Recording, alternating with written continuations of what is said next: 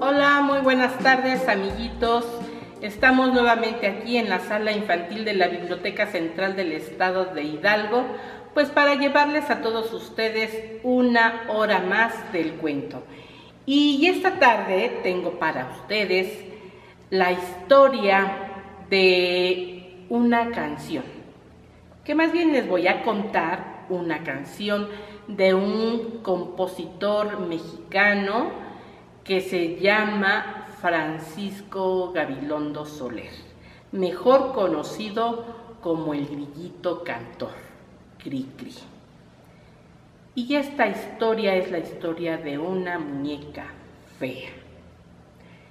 Y nos cuenta Cri Cri, ese grillito, que hace muchos, muchos años existió una muñeca.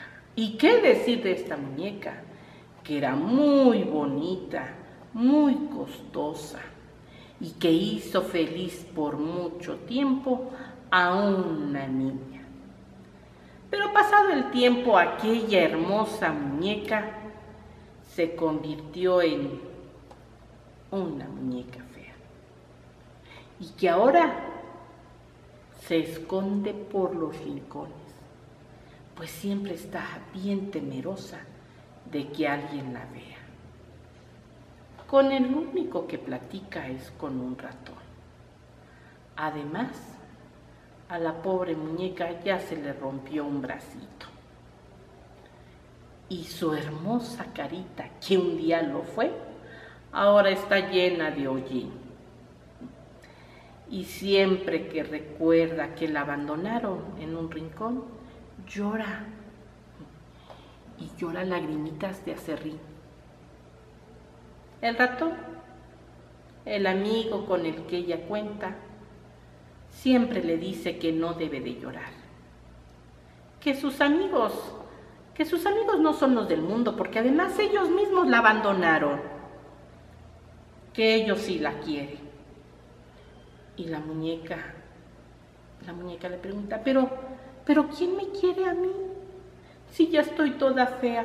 Ah, pues, pues pues te quiere la escoba y el recogedor, te quiere el plumero y el sacudidor, te quiere la araña que vive en aquel rincón y te quiere el viejo Beliz y por supuesto, también yo te quiero y te quiero feliz, muñequita.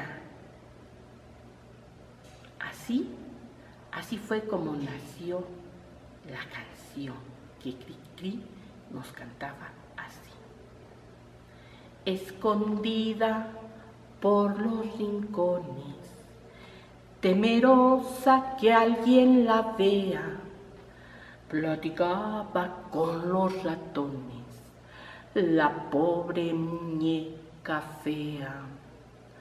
Un bracito ya se le rompió, su carita está llena de hollín y al sentirse olvidada lloró lagrimitas de acerrín.